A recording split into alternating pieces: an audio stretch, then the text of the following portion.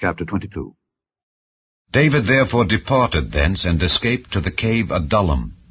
And when his brethren and all his father's house heard it, they went down thither to him. And every one that was in distress, and every one that was in debt, and every one that was discontented, gathered themselves unto him. And he became a captain over them. And there were with him about four hundred men. And David went thence to Mizpeh of Moab, and he said unto the king of Moab, Let my father and my mother, I pray thee, come forth and be with you, till I know what God will do for me. And he brought them before the king of Moab, and they dwelt with him all the while that David was in the hold. And the prophet Gad said unto David, Abide not in the hold, depart and get thee into the land of Judah. Then David departed, and came into the forest of Hereth. When Saul heard that David was discovered, and the men that were with him, now Saul abode in Gibeah under a tree in Ramah, having his spear in his hand, and all his servants were standing about him. Then Saul said unto his servants that stood about him, Hear now, ye Benjamites, will the son of Jesse give every one of you fields and vineyards, and make you all captains of thousands and captains of hundreds, that all of you have conspired against me, and there is none that showeth me that my son hath made a league with the son of Jesse, and there is none of you that is sorry for me, or showeth unto me that my son hath stirred up my servant against me to lie in wait, as at this day?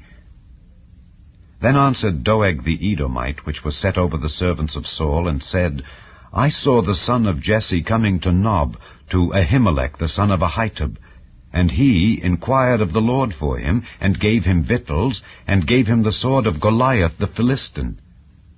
Then the king sent to call Ahimelech the priest, the son of Ahitub, and all his father's house, the priests that were in Nob. And they came all of them to the king. And Saul said, Hear now, thou son of Ahitub.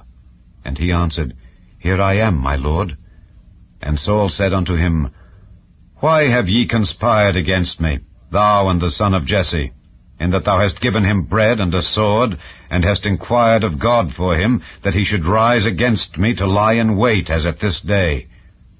Then Ahimelech answered the king and said, And who is so faithful among all thy servants as David, which is the king's son-in-law, and goeth at thy bidding, and is honorable in thine house? Did I then begin to inquire of God for him, be it far from me? Let not the king impute anything unto his servant, nor to all the house of my father, for thy servant knew nothing of all this, less or more. And the king said, Thou shalt surely die, Ahimelech, thou and all thy father's house. And the king said unto the footmen that stood about him, Turn and slay the priests of the Lord, because their hand also is with David, and because they knew when he fled and did not show it to me.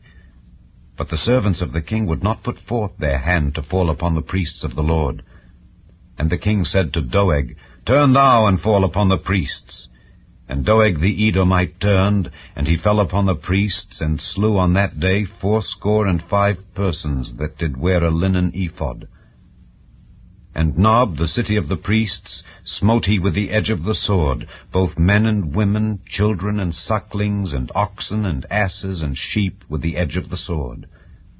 And one of the sons of Ahimelech, the son of Ahitub, named Abiathar, escaped, and fled after David. And Abiathar showed David that Saul had slain the Lord's priests. And David said unto Abiathar, I knew it that day when Doeg the Edomite was there that he would surely tell Saul. I have occasioned the death of all the persons of thy father's house. Abide thou with me, fear not, for he that seeketh my life seeketh thy life, but with me thou shalt be in safeguard.